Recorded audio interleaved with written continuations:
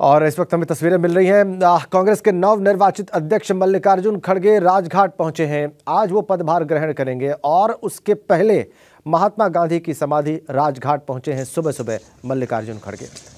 महात्मा गांधी को नमन करेंगे और कई वर्षों बाद चुनाव हुए और गांधी परिवार से इतर एक व्यक्ति चुना गया है। कांग्रेस पार्टी का राष्ट्रीय अध्यक्ष मल्लिकार्जुन खड़गे हैं, मूलतः कर्नाटक से हैं, राज्यसभा सांसद हैं। सुबह सुबह महात्मा गांधी की समाधि राजघाट पहुँचे हैं। महात्मा गांधी को नमन करने और आज ही एक कार्यक्रम में जो कांग्रेस मुख्यालय पर होगा दिल्ली में, उसमें वो पदभार ग्रहण करेंगे कांग्रेस के अध्यक्ष पद का। उम्मीद उनसे बहुत ज़्यादा होगी, क्योंकि बहुत सारी आलोचनाएँ इस बात पे हुई हैं कांग्रेस पार्टी की और उसके बाद चुनाव हुए।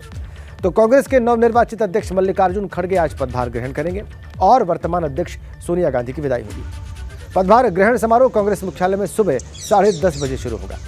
तैयारी पूरी है। पूर्व कांग्रेस अध्यक्ष राहुल गांधी समेत देश भर के पार्टी नेता इस कार्यक्रम में हिस्सा लेंगे। फ़िलहाल तस्वीरें राजघाट की। मल्लिकार्जुन खड़गे नव निर्वाचित ये ना राजू का अध्यक्ष कांग्रेस पार्टी के राजघाट पहुँचे हैं। पिछले दिनों चुनाव के बाद वो अध्यक्ष चुने गए। भारी मतों से उन्होंने अपने प्रतिद्वंदी शशि थरूर को परास्त किया कांग्रेस अध्यक्ष पद के चुनाव में। और आज वो पदभार ग्रहण करेंगे। सुबह साढ़े दस बजे पदभार ग्रहण समारोह की शुरुआत होगी। इसमें कांग्रेस नेता राहुल गांधी,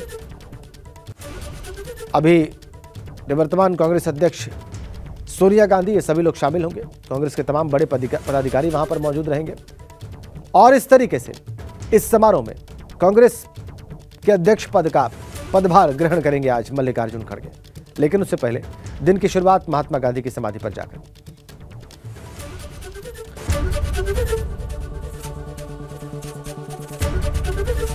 एबीपी गंगा, खबर आपकी, जुबा आपकी।